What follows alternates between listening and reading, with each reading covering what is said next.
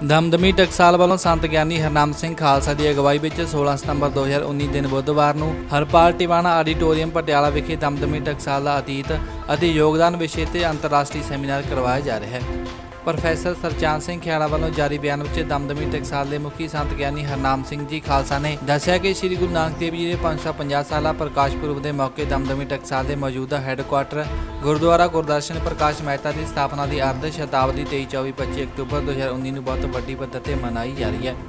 ਇਸੇ ਪ੍ਰਸੰਗ ਵਿੱਚ ਦਮਦਮੀ ਟਕਸਾਲ ਦੇ ਇਤਿਹਾਸਕ ਯੋਗਦਾਨ ਅਤੇ ਪ੍ਰਾਪਤੀਆਂ ਨਾਲ ਸੰਬੰਧਿਤ ਅੰਤਰਰਾਸ਼ਟਰੀ ਸੈਮੀਨਾਰਾਂ ਦੀ ਲੜੀ ਵਜੋਂ ਇਹ ਤੀਜਾ ਸੈਮੀਨਾਰ ਕਰਵਾਇਆ ਜਾ ਰਿਹਾ ਹੈ। ਜੋ ਕਿ 11 ਤੋਂ ਦੁਪਹਿਰ 2 ਵਜੇ ਤੱਕ ਚੱਲੇਗਾ। ਜਿਸ ਦੀਆਂ ਤਿਆਰੀਆਂ ਮੁਕੰਮਲ ਕੀਤੀਆਂ ਜਾ ਚੁੱਕੀਆਂ ਨੇ।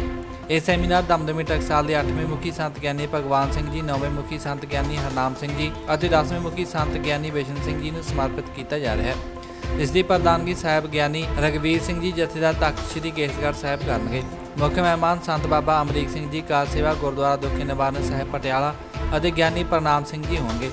ਦਮਦਮੀ ਟਕਸਾਲ ਦੇ ਮੁਖੀ ਨੇ ਸੰਗਤ ਨੂੰ ਸਮੇਂ ਸਿਰ ਸੈਮੀਨਾਰ ਸਥਾਨ ਤੇ ਪਹੁੰਚਣ ਦੀ ਅਪੀਲ ਕੀਤੀ ਹੈ।